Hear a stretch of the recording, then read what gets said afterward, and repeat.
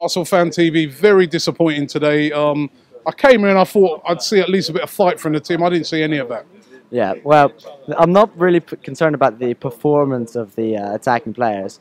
I'm more concerned about who the personnel are uh, that are playing because you look at the squad, you look at the three guys playing. I mean, there's Campbell, Chamberlain, um, Chamberlain, fair enough, but he's got injured, and now they're teenagers, and it just shows they're just lacking depth of the squad. But even so, I feel like more concerning than that is the defense. You look back a year, start of last season, that back four is the I, I'm not sure if it's the same one, but it's a very similar back four to the one which started the, uh, the beginning of last season. You have two England internationals, you have a German World Cup winner, over 100 caps, and you've got a French international.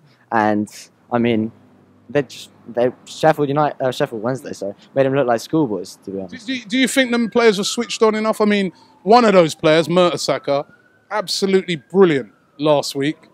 Today, it was like I, I, I don't know. I, I, couldn't. I didn't even recognise the players who were playing out there today. They were so poor.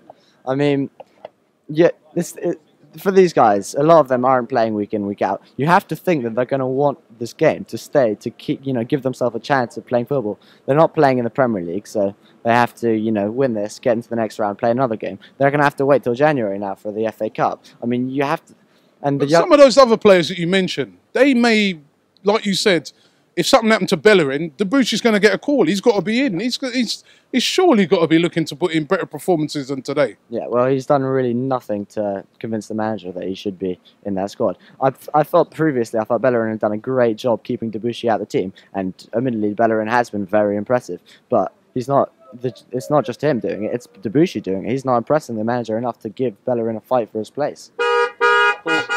Cool. They look more like a Premier team than we did, didn't they? And they're moving the mm. ball about better than us. That is